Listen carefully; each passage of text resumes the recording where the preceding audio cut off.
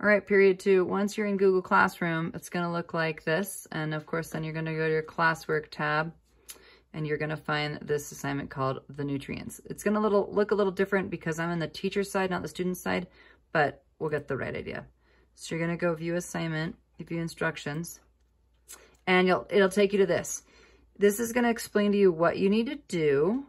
And then on yours, right up here, it's gonna have a pre-made template of a slides that you're just going to click on and that will take you to this. And then in this, you're going to be here. And it has a pre-made template with all the information that you need to put in there. There's a slide for each one of the nutrients and then some additional nutritional label stuff that we'll get to later. You do not have to have this done today. So you just get as much done as you can. So the very front page is who it is. So you'd click right here um, and put your name there, and then you'd proceed on. So the first slide is protein. What does your body, why does your body need this nutrient?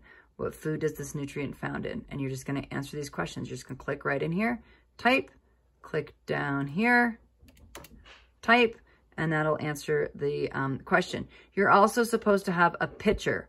So in order to put in a picture, you are going to click on insert image, search the web, and protein is found in flesh. It can also be in nuts and beans. So I'm gonna put in um, steak. And I'm gonna search.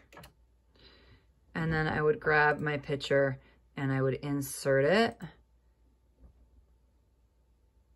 And that's really big, so we're gonna make it smaller.